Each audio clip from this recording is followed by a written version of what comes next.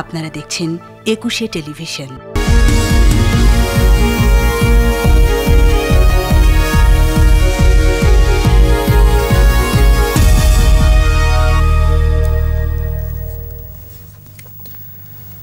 শুভ সকাল। প্রিয় দর্শক, রাজীব জামান প্রত্যেক আমন্ত্রণ জানাচ্ছি একুশে বিজনেসে।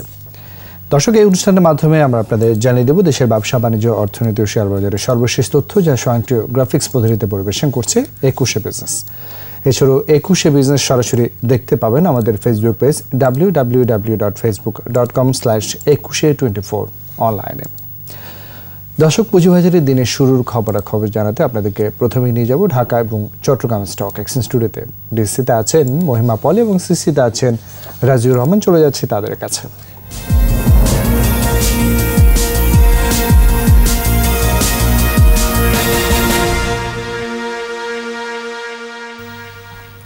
ধন্যবাদ রাজীব জামান আপনাকে। জানিয়ে দিচ্ছি, এইমাত্র শুরু হয়ে গেল ঢাকা স্টক এক্সচেঞ্জের আজকের দিনের লেনদেন।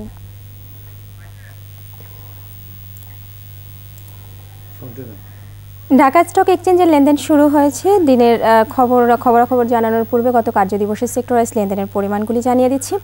গত কার্যদিবসে বিভিন্ন সেক্টরের মধ্যে সবচেয়ে বেশি লেনদেন ছিল ফার্মাসিউটিক্যাল সেক্টরে। পাঁচ কোটি বারো লাখ টাকার মতো লেনদেনের পরিমাণ ছিল।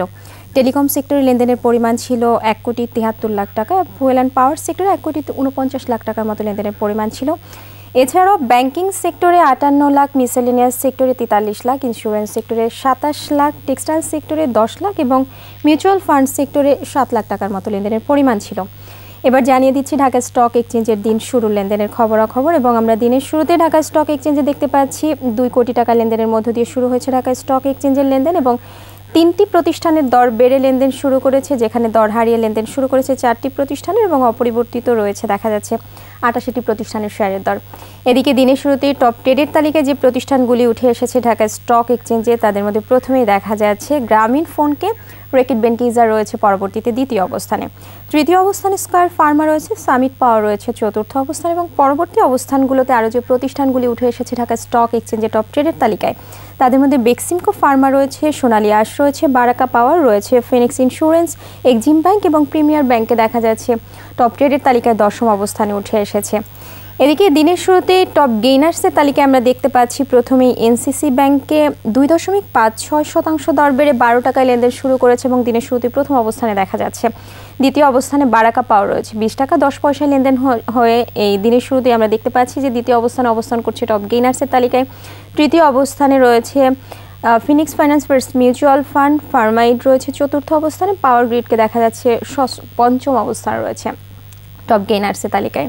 এবং দিনের শুরুতে আমরা দেখতে পাচ্ছি যে টপ লুজার্সের তালিকায় যে প্রতিষ্ঠানগুলি উঠে এসেছে, ঢাকা স্টক এক্সচেঞ্জে তাদের মধ্যে প্রথমেই যে প্রতিষ্ঠানটি রয়েছে, অর্থাৎ সবচেয়ে বেশি শতাংশের দিক থেকে দর হারিয়ে লেনদেন শুরু করেছে যে প্রতিষ্ঠানগুলি দিনের শুরুতেই। তাদের মধ্যে প্রথমেই দেখা যাচ্ছে বেক্সিমকো ফার্মাকে দেখা যাচ্ছে টপ লুজার্সের তালিকায় প্রথমেই রয়েছে। দ্বিতীয় অবস্থানে ফিনিক্স ইন্স্যুরেন্স রয়েছে এবং সামিট পাওয়ার রয়েছে, তৃতীয় অবস্থানে টপ লুজার্সের তালিকায়।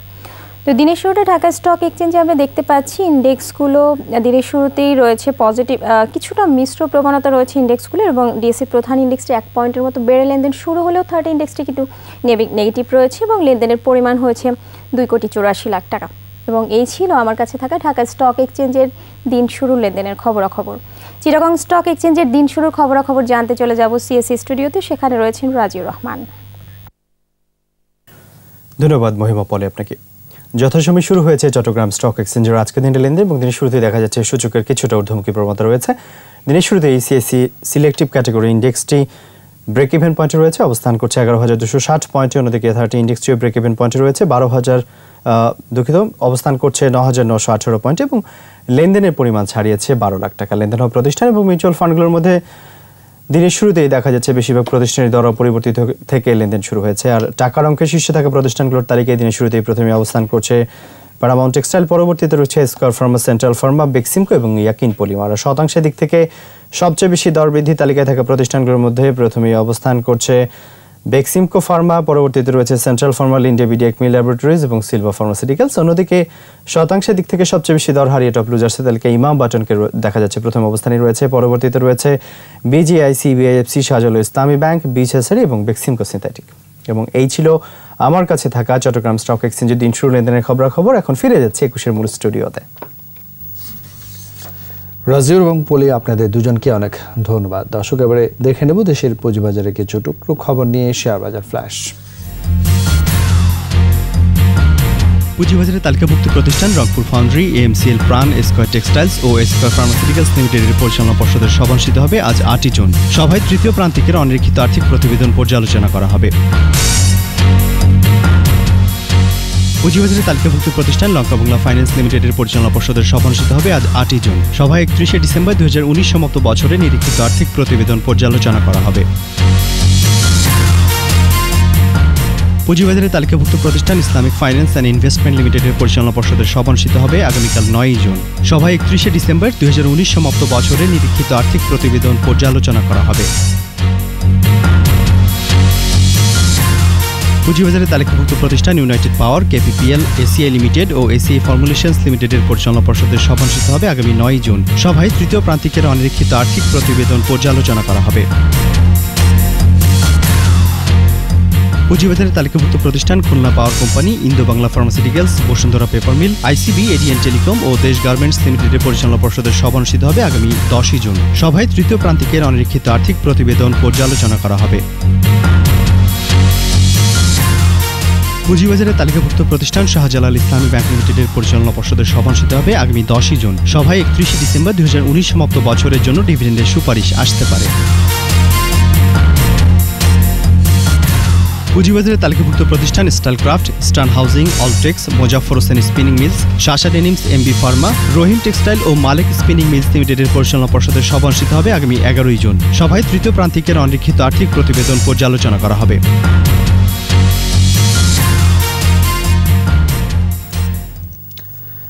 ব্যক্তি শ্রেণির দেশি বিদেশি বিনিয়োগকারীদের জন্য ব্যাংকের নগদ লভ্যাংশের নীতিমালা শিথিল করল বাংলাদেশ ব্যাংক। তবে লভ্যাংশ পেতে প্রাতিষ্ঠানিক বিনিয়োগকারীদের ত্রিশ সেপ্টেম্বর পর্যন্ত অপেক্ষা করতে হবে। রোববার কেন্দ্রীয় ব্যাংক এ সংক্রান্ত একটি প্রজ্ঞাপন জারি করে দেশের সব তফসিলি ব্যাংকের প্রধান নির্বাহীদের কাছে পাঠিয়েছে। এতে বলা হয়েছে, ত্রিশ সেপ্টেম্বরের আগে দু হাজার উনিশ সম্মত বছরের জন্য ব্যাংকের ঘোষিত নগদ লভ্যাংশ শুধুমাত্র দেশি বিদেশি ব্যক্তি শ্রেণির বিনিয়োগকারীদের মাঝে বিতরণ করা যাবে। পুঁজিবাজারে সাধারণ বিনিয়োগকারীদের অধিকতর স্বার্থ রক্ষায় সিদ্ধান্ত বলে জানিয়েছে বাংলাদেশ ব্যাংক। এর আগে এগারোই মে জারি করা প্রজ্ঞাপনে সব শ্রেণির বিনিয়োগকারীদের মাঝে ত্রিশ সেপ্টেম্বরের আগে নগদ লভ্যাংশ বিতরণের নিষেধাজ্ঞা দেওয়া হয়েছিল।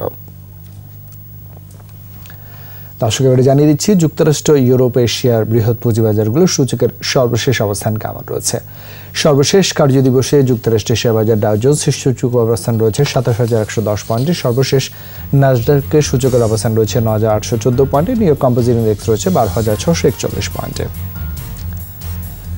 জানাব ইউরোপের পুঁজিবাজারের খবরাখবর সর্বশেষ কার্য দিবসে যুক্তরাজ্যের এফটিএসি হান্ড্রেড ইন্ডেক্সের অবস্থান রয়েছে। ছ হাজার চারশো চুরাশি পয়েন্টে জার্মানি শেয়ার বাজার এক্স ইন্ডেক্স রয়েছে। বারো হাজার আটশো সাতচল্লিশ পয়েন্টে ফ্রান্সের সিসি ফর্টি ইন্ডেক্সের অবস্থান রয়েছে পাঁচ হাজার একশো সাতানব্বই পয়েন্টে। সুইজারল্যান্ডের সুইজ মার্কেট ইন্ডেক্স রয়েছে দশ হাজার একশো নব্বই পয়েন্টে। জানাব এশিয়ার পুঁজিবাজারের সর্বশেষ অবস্থান। জাপানের শেয়ার বাজার নিকি সূচকের অবস্থান রয়েছে? বাইশ হাজার আটশো তেষট্টি পয়েন্টে। হংকংয়ের শেয়ার বাজার হ্যাংসেং সূচক রয়েছে চব্বিশ হাজার সাতশো সত্তর পয়েন্টে। সিঙ্গাপুর এসটিআই সূচকের অবস্থান রয়েছে দু হাজার সাতশো একান্ন পয়েন্টে। চীনে শেয়ার বাজার সাংহাই কম্পোজিট ইন্ডেক্স রয়েছে দু হাজার এক নয়শো ত্রিশ পয়েন্টে। বোম্বে সেন্সেক্স থার্টি ইন্ডেক্সের অবস্থান চৌত্রিশ হাজার দুশো সাতাশি পয়েন্টে। থাইল্যান্ডের থাই স্টক এক্সচেঞ্জের সূচক এক হাজার চারশো পঁয়ত্রিশ পয়েন্টে রয়েছে। দর্শক, এবারে নিচ্ছি একটা বিরতি, ফিরবে একটু পরে, ততক্ষণ আমাদের সঙ্গে থাকুন।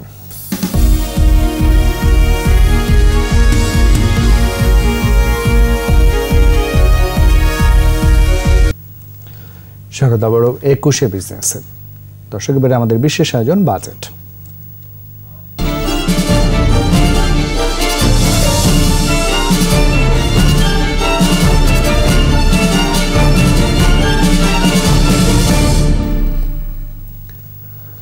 করোনায় স্বাস্থ্য খাতের উপর মারাত্মক চাপ তৈরি করেছে। তাই নতুন অর্থ বছরের বাজেটে বরাদ্দ বাড়াচ্ছে স্বাস্থ্য খাতে পরিকল্পনা মন্ত্রী জানিয়েছেন, স্বাস্থ্য বাজেট আরও চার হাজার কোটি টাকা বাড়িয়ে তেরো হাজার কোটি টাকার প্রস্তাব করা হচ্ছে নতুন বাজেটে। বিশেষজ্ঞরা বলছেন, করোনা সংকটে দেশের স্বাস্থ্য খাতের দুর্বলতা চোখে আঙুল দিয়ে দেখিয়ে দিয়েছে, তাই এই খাতটিকে সর্বোচ্চ গুরুত্ব দেওয়ার পরামর্শ বিশেষজ্ঞদের। বিস্তারিত স্মৃতিমণ্ডলের রিপোর্টে। বিশ্ব মহামারী করোনার কালো ছায়া দেশ জুড়ে। সামাজিক সংক্রমণে চাপে পড়েছে স্বাস্থ্য ব্যবস্থা। করোনা সংকটই স্বাস্থ্য খাতের দুর্বল চেহারাটাকে সামনে এনেছে. দেশের মোট বাজেটের পনেরো শতাংশ এবং জিডিপির পাঁচ শতাংশ হতে হবে স্বাস্থ্য বাজেটে। এই গাইডলাইন বিশ্ব স্বাস্থ্য সংস্থার। কিন্তু এই নির্দেশনা বারবারই অবহেলিত। দুর্বল ব্যবস্থাপনায় স্বাস্থ্য খাতই যেন রোগগ্রস্ত। বাজেটে তাই এই খাতকেই সর্বোচ্চ গুরুত্ব দেওয়ার তাগিদ বিশেষজ্ঞদের। বাজেট ঘাটতির দিকে তাকালে চলবে না। আমরা সাধারণত যে প্রতি বছর নর্মালি আমরা চার থেকে পাঁচ পার্সেন্ট অফ জিডিপি একটা বাজেট ঘাটতি থাকে। কিন্তু এবছর আমি মনে করি সরকারের খরচ অনেক বাড়াতে হবে। স্বাস্থ্য খাতে সরকারি খরচ বাড়াতে হবে। এটার যে ইনফ্রাস্ট্রাকচার আছে সেটা যথেষ্ট ইমপ্রুভমেন্ট করতে হবে। দুই হাজার বিশ একুশ অর্থ বছরে প্রস্তাবিত বার্ষিক উন্নয়ন কর্মসূচিতে স্বাস্থ্য সেবা খাতে বরাদ্দ দশ হাজার তিপ্পান্ন কোটি ছিয়াশি লাখ টাকা। স্বাস্থ্য সেবা খাতে মোট এডিপির বরাদ্দ চার দশমিক নয় শূন্য শতাংশ। পরিকল্পনামন্ত্রী জানান এবার স্বাস্থ্য খাতের উন্নয়ন অংশে পঞ্চাশ শতাংশ বরাদ্দ বাড়ানো হচ্ছে। দুই হাজার বিশ একুশ অর্থ বছরে বরাদ্দ বাড়বে আরও চার হাজার কোটি টাকা। স্বাস্থ্যকে বাড়তি বরাদ্দ দেওয়া হয়েছে এবং আরও দেওয়ার তাদেরকে আশ্বস্ত দেওয়া হয়েছে। শতকরা পঞ্চাশ ভাগ বেশি ইতিমধ্যে তো বললাম। গত বছর ছিল ন হাজার কোটি টাকা এবার তেরো হাজার কোটি টাকা।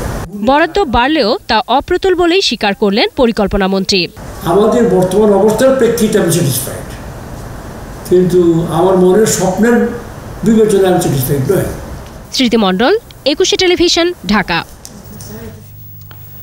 এদিকে দু হাজার বিশ একুশ অর্থ বছরের বাজেটে যোগাযোগ ব্যবস্থার উন্নয়নে পরিবহন খাতকেও বরাদ্দ দেওয়া হচ্ছে এবং বার্ষিক উন্নয়ন কর্মসূচিতে বরাদ্দ দেওয়া হয়েছে বান্ন হাজার আটশো ছয় কোটি টাকা, যা মোট এডিবির ছাব্বিশ দশমিক শূন্য পাঁচ শতাংশ। পরিবহন বিশেষজ্ঞরা বলছেন, করোনা সংকটে স্থবির প্রকল্পগুলো যথাসময়ে বাস্তবায়ন করলে সুফল আসবে অর্থনীতিতে। রিপোর্টে আরও জানাচ্ছেন মোহাম্মদ নুরুন নবী। হিসেব কষতে গেলে চলতি অর্থ বছরের হিসেব অন্য কোনো সময়ের সাথে তুলনা করা সম্ভব নয়। বিশ্ব মহামারী করোনা ওলটপালট করে দিয়েছে। উন্নয়ন প্রকল্পের বাস্তবায়ন সূচিও লণ্ডভণ্ড। মহামারীর কারণে স্থবির চলমান প্রকল্পগুলোর কাজ। আগামী অর্থ বছরের যোগাযোগ সেক্টর উন্নয়নে প্রকল্প বাস্তবায়নের গতি বাড়ানোর উদ্যোগ আছে সরকারের। সরকারি দফতরগুলোতে খাতুয়ারি বরাদ্দের দিক থেকে স্থানীয় সরকারের পর দ্বিতীয় সর্বোচ্চ বরাদ্দ পরিবহন ও মহাসড়ক বিভাগের। এই তো গত বছরের সড়ক পরিবহন ও মহাসড়ক বিভাগের কাছে ছিল চব্বিশ হাজার কোটি টাকা। এবার এটাকে বাড়িয়ে করা হয়েছে পঁচিশ হাজার কোটি টাকা। মেগা প্রকল্পগুলোর বেশিরভাগই যোগাযোগ খাতের। বরাদ্দ মিলছে চাহিদা মাফিক। প্রয়োজনে বিশেষ সুরক্ষা উদ্যোগ নিয়ে হলেও কাজ শেষ করার চেষ্টা থাকবে। নতুন প্রজেক্ট নিলে সরকারের আয় কমে যাচ্ছে, কিন্তু ব্যয় অনেক বেড়ে যাচ্ছে। এই আয় ব্যয়ের সমন্বয় রেখে আমি চলমান কাজগুলিকে দ্রুত সম্পন্ন করার জন্য আয়োজনটা করাটাই আমাদের সবচেয়ে গুরুত্ব পাওয়া উচিত। রিশিডিউল করা হলেও পিছিয়ে পড়া প্রকল্পগুলোর নির্মাণ কাজ যথাসময়ে শেষ করার তাগিদ দিচ্ছেন যোগাযোগ বিশেষজ্ঞরা। সামনে হয়তো আরও স্থবিরতা থাকতে পারে অথবা আরম্ভ হলেও ফুল স্ট্রেংথে হবে না। তাকে তাতে সঙ্গত কারণেই প্রত্যেকটা প্রজেক্টের টাইম ওভার রান অর্থাৎ টাইম যদি বেড়ে যায় তার সাথে খরচটা বেড়ে যাবে সঙ্গত কারণে। মূলনীতি হওয়া উচিত বাজেটে যে এই কাজগুলি যেন উঠে যায়। এর মধ্যে বার্ষিক উন্নয়ন কর্মসূচি এডিপির জন্য দুই লাখ পাঁচ হাজার একশো পঁয়তাল্লিশ কোটি টাকার খসড়া প্রস্তাব অনুমোদন করেছে পরিকল্পনা কমিশন, যা বিদায়ী অর্থবছরের চেয়ে ছয় শতাংশ বেশি। মোহাম্মদ নুরুন্নবী একুশে টেলিভিশন, ঢাকা। করোনা সংকট মোকাবেলায় এবারের বাজেটে স্বাস্থ্য খাতকে গুরুত্ব দেওয়ার পাশাপাশি কর্মসংস্থান সৃষ্টিকে সবচেয়ে বেশি গুরুত্ব দেওয়ার পরামর্শ বিশেষজ্ঞদের। বিসিসিআর অনলাইন আলোচনায় দেশে বিদেশে বিনিয়োগ বাড়ানোর ক্ষেত্রে প্রতিবন্ধকতা দূর করারও তাগিদ দেন তারা। মেহেদি হাসানের রিপোর্ট। করোনা সংকটে বিপর্যস্ত অর্থনীতি স্থবির ব্যবসা বাণিজ্য। করোনার কঠিন সময়ই আসছে নতুন অর্থবছরের বাজেট। এ অবস্থায় কোভিড নাইন্টিন পরিস্থিতিতে বাজেট বিনিয়োগ সহ নানা বিষয়ে আলোচনা করতেই এফবিসিসিআই এর এই আয়োজন। ব্যবসায়ী নেতারা ছাড়াও অংশ নেন অর্থনীতিবিদ আন্তর্জাতিক দাতা সংস্থার প্রতিনিধি এবং সরকারের মন্ত্রীরা। Effective steps need to be taken to ensure that all stakeholders and customers receive these funds within the minimum lead time. অর্থনীতিবিদরা বলছেন বিনিয়োগে মন্দা বা অবকাঠামোর সংকট আগেও ছিল। করোনার চাপে থাকা অর্থনীতি পুনরুদ্ধারের পরামর্শ দেন তারা also the existing problem that should be addressed in order to achieve the goal of economic stability. We have a large uh, number of people who are seeking jobs, but on the other hand, we are also hiring from neighboring countries. Uh, many private companies are hiring from the uh, neighboring countries, uh, saying that our skill sets are not adequate. So, for this, we need to have a medium term planning. জিডিপির বিপরীতে কর আদায় এবং বিদেশি বিনিয়োগ আকর্ষণে বাংলাদেশ এখনও যে অনেক পিছিয়ে সে কথাই মনে করিয়ে দেন আন্তর্জাতিক দাতা সংস্থার প্রতিনিধিরা In case of Bangladesh, the FDI GDP ratio is in fact much lower. We have en- enhanced the trade finance program, which provides over 1 billion extra liquidity year on year for the availability of credit for private sector in Bangladesh. We are providing liquidity support. We provided 100 million to support the crisis, the health emergency, and we are processing 250 million in budget support for disbursement by the end of this month. বিনিয়োগ ও কর্মসংস্থান সৃষ্টিতে নানা প্রতিবন্ধকতা তুলে ধরেন সরকারের নীতি নির্ধারকরা BIDA law was passed and BOI and the Privatization Commission was merged into one organization. But unfortunately, the law does not enable BIDA to be a true one-stop service organization. To include pineapple for incentive, it took nine months to get clearance from finance minister and uh, commerce finance ministry and commerce ministry তবে সমস্যা যাই থাক এবারের budget হতে হবে কর্মসংস্থান সৃষ্টির budget not only increasing of FDI, increase of exports, diversification of exports, exploring new markets for exports, and employment of uh, gainful employment our expected our laborers. ফেরত আসা প্রবাসী শ্রমিকদের পুনর্বাসনের বিষয়টিও উঠে আসে এই আলোচনায় And just, uh, I would like to Mehedi Hasan একুশে টেলিভিশন ঢাকা করোনার কারণে দেশে দারিদ্র্যের হার বেড়ে পঁয়ত্রিশ শতাংশ উন্নীত হবে এমনটা আশঙ্কা সেন্টার ফর পলিসি ডায়ালগ সিপিডির বলেছে, আসছে, বাজেটে এনবিআরের রাজস্ব আদায়ের লক্ষ্যমাত্রা অর্জনযোগ্য নয়। তাই বাজেট প্রক্রিয়া এবং প্রকল্প বাস্তবায়ন কার্যক্রমের সংস্কারে গুরুত্ব দেওয়ার পরামর্শ দেন গবেষকরা। একই সঙ্গে চলতি অর্থবাজেটে জিডিপি প্রবৃদ্ধি দুই দশমিক পাঁচ শতাংশের বেশি হবে না বলেও মত সিপিডির। তহিদুর রহমানের রিপোর্ট। সিপিডি আয়োজিত জাতীয় অর্থনীতির পর্যালোচনা ও আসন্ন বাজেট চ্যালেঞ্জ শীর্ষক virtual media briefing. Research team গবেষণা দল রয়েছেন। করোনার কারণে উৎপাদন পরিবহন সেবা ও আবাসন খাত বেশি ক্ষতিগ্রস্ত হচ্ছে বলে জানান গবেষক তৌফিকুল ইসলাম খান। ফলে রাজস্ব আহরণও কমবে বলে উল্লেখ করেন তিনি। বলেন এমন পরিস্থিতিতে দরিদ্র মানুষের সংখ্যাও বাড়বে। বাংলাদেশের আহ, যে দারিদ্র আছে যেটা দুই হাজার ষোলো সালে চব্বিশ দশমিক তিন শতাংশ ছিল। সেটা এখন পঁয়ত্রিশ শতাংশে বেড়ে গেছে বলে আমরা আশঙ্কা করছি। সবচাইতেও যদি ভালো একটা সিনারিও এই বছরের জন্য চিন্তা করি, তাহলে আমাদের ধারণা যে এই বছরের প্রবৃদ্ধি দুই দশমিক পাঁচ শতাংশের বেশি হবে না। করোনার কঠিন বাস্তবতাকে সামনে রেখে দুই হাজার বিশ একুশ অর্থ বছরের বাজেট সাজানোর পরামর্শ সিপিডির।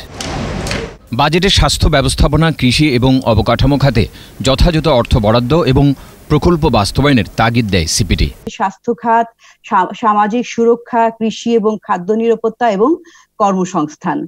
এইগুলোর উপরে প্রাধিকার ভিত্তিতে বর্ধিত আকারে বাজেট রাখতে হবে। আন্তর্জাতিক বাজারে তেলের দাম কমলেও বাংলাদেশ সুবিধা নিতে পারছে না জানিয়ে সিপিডি বলছে কালো টাকা সাদা করলে সার্বিক অর্থনীতি ক্ষতিগ্রস্ত হবে। সংস্কার এবং প্রাতিষ্ঠানিক কাঠামোর দক্ষতা বৃদ্ধি এটিও হবে আমাদের মূল উদ্দেশ্য। তৌহিদুর রহমান একুশে টেলিভিশন ঢাকা। দর্শক এবারে নিচ্ছে একটা বিরতি বেলা সাড়ে এগারোটা আবার ফিরবে কুশে বিজনেসে ততক্ষণ আমাদের সঙ্গে থাকুন।